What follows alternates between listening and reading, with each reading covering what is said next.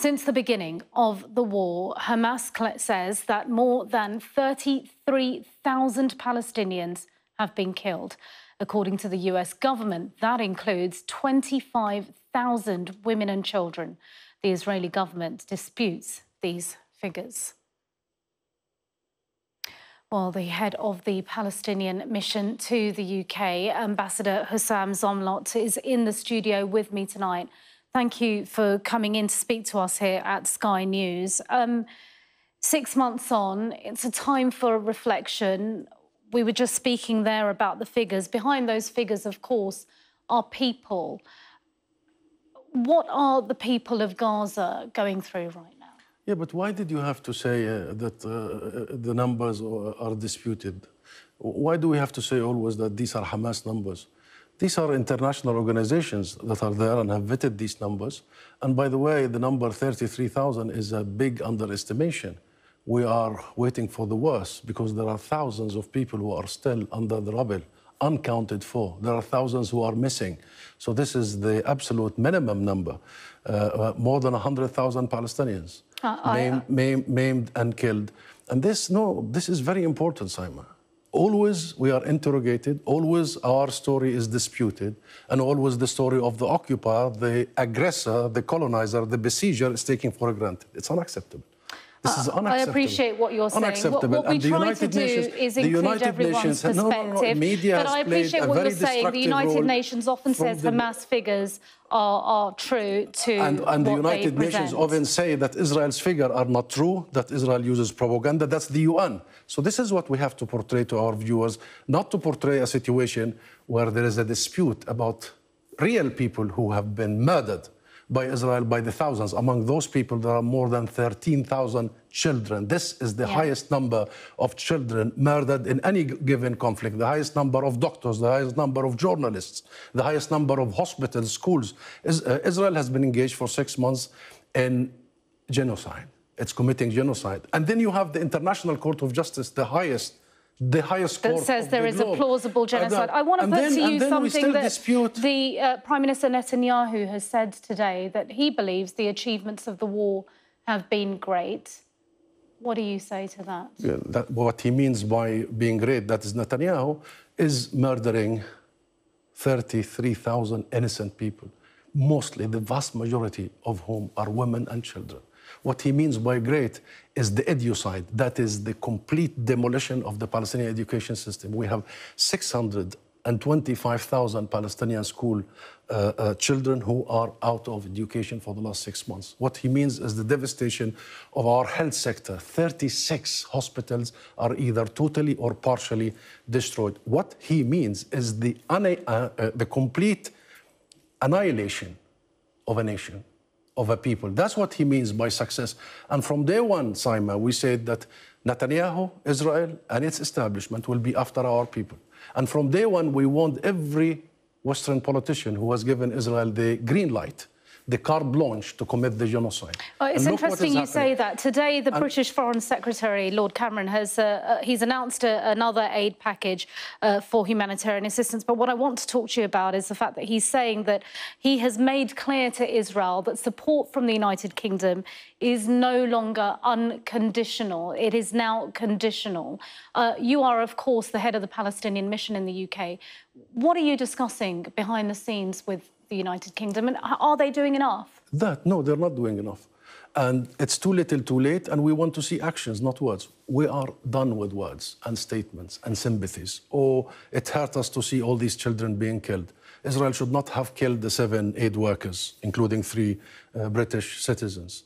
These words have been interpreted in Israel as just hollow words. We need action the UK well, what kind to, of action? What the, do you want to see happen? First, the UK has to impose an arms embargo immediately. Once the highest court on earth says that it is plausible that Israel has committed genocide and is committing genocide six months on, and that Israel is now officially on trial for genocide, the conversation should have been over.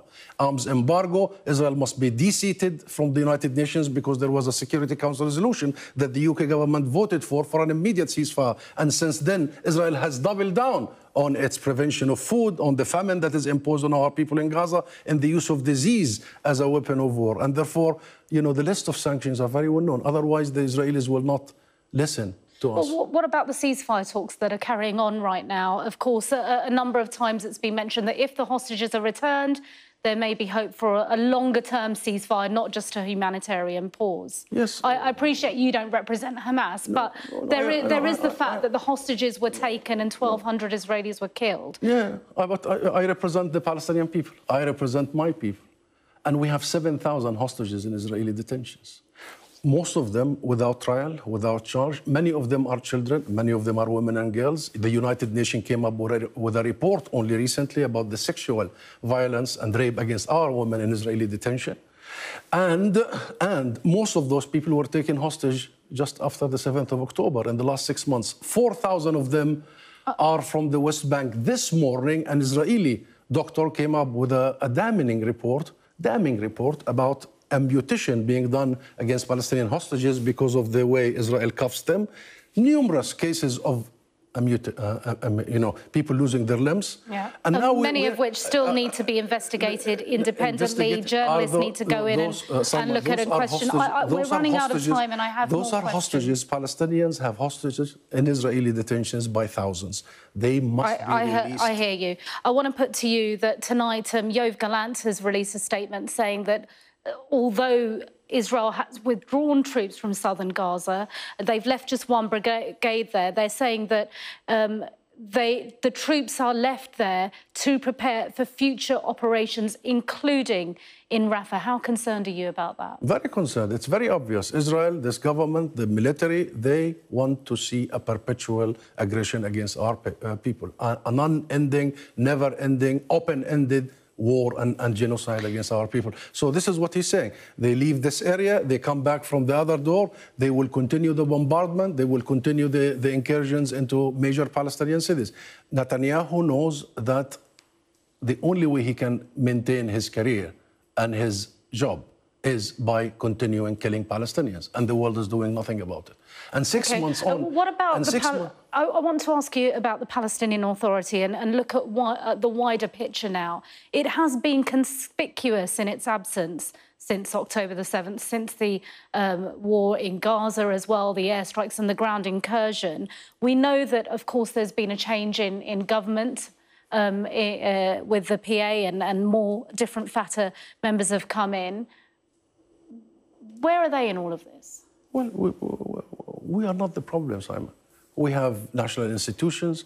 We have the PLO that represents all Palestinians. Its political platform is in perfect line with the international community for a state of Palestine on the 1967 borders. We have a state of Palestine in the international system in the UN, recognized by the majority of the world, except few countries, the UK and the US. And we have a new government that will have one main task to provide for our people in Gaza and the West Bank, including Jerusalem. The, the, the are, are, they involved in talks with you know, uh, Israel and Qatar? The, the, the, problem is not in the, in the Palestinian side. We have all what it takes to make sure that our people are provided for and protected. The issue is the root cause.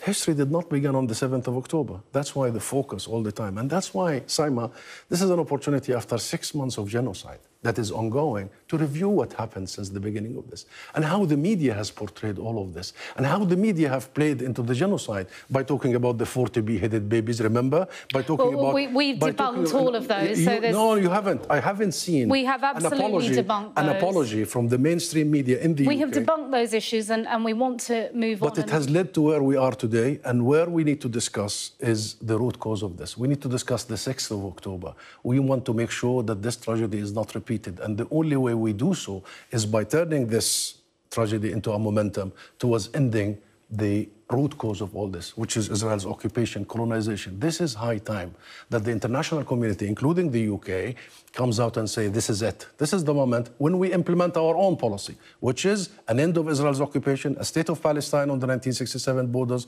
with East Jerusalem as its capital, and the right of Palestinian refugees to go back to their homes and properties. Husam Zomlot, uh, head of the Palestinian mission to the United Kingdom, thanks very much indeed for coming in to speak to us here on Sky News.